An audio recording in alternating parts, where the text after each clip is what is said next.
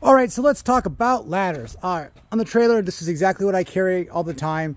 All right, so we got on the passenger side, we got the 32 foot glide safe Werner.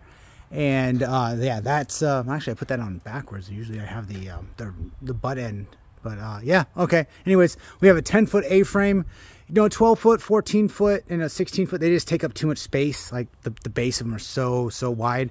But uh, I also have the 16 foot, as you can see on this side here right there, 16 foot.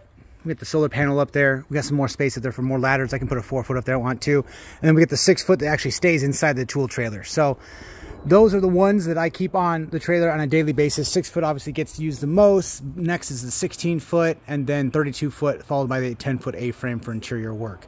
So that's what this tool trailer hauls all the time.